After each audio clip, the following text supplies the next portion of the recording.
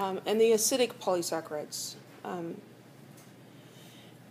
these are a little more complicated. These have um, a disaccharide component.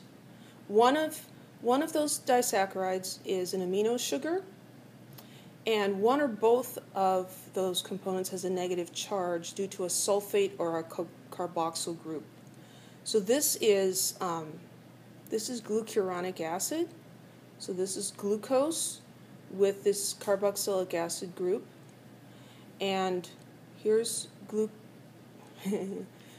glucuronate. Gluc- I'm tired. Gluc- it's that right there. We don't need to spell it. I mean, we don't need to say it. We could just spell it.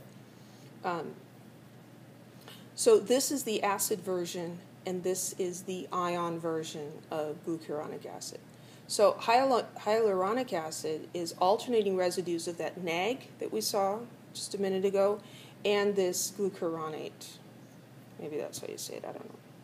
So alternating pattern, and it's got um, beta 1 3 and beta 1 4 linkages and about 50,000 disaccharide units per chain. So here we've got um, this is the N acetyl glucosamine, and this is the glucuronate.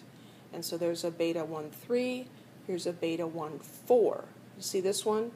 It, it looks like it's going there, but it isn't. It's going over here to number 3. So that's a new kind we haven't seen before. Then this goes to 1 4, and that goes to 1 3, and it just alternates like that. So hyaluronic acid solutions are very viscous, they're very thick, and they serve as lubricants in your joint fluid. And um, they're also associated with the jelly like consistency of the vitreous humor in your eye.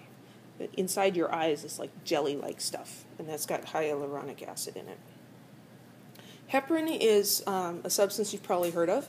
This is also an acidic polysaccharide. It's a small one, uh, 15, 15 to 90 disaccharide units. Um, so it is it's highly sulfated. So we've got this glucuronate 2 sulfate and sulfoglucosamine 6 sulfate.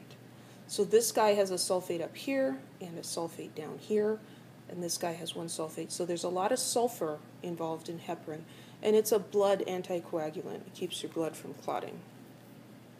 And these are joined by the alpha 1 4 linkages.